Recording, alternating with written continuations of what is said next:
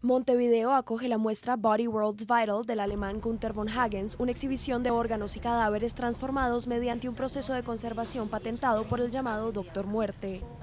La comisaria de la obra, doctora y esposa del creador, Angelina Wally, afirma que la colección es altamente educativa.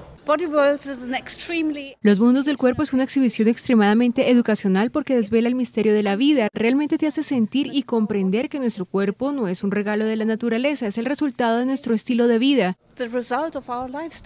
A través de las diversas salas de la exposición se pueden ver cuerpos con sus órganos, músculos y nervios jugando al fútbol, practicando gimnasia artística o esgrima.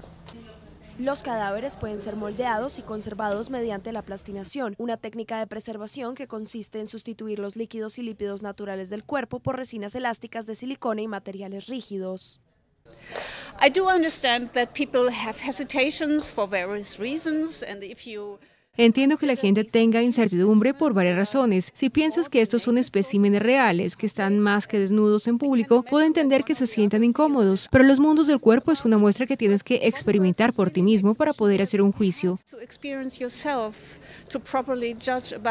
Desde que se exhibió por primera vez el trabajo de Von Hagens en Japón en 1995, sus muestras han sido visitadas por más de 45 millones de personas en todo el mundo. Wally hizo hincapié en que esta muestra también es apta para niños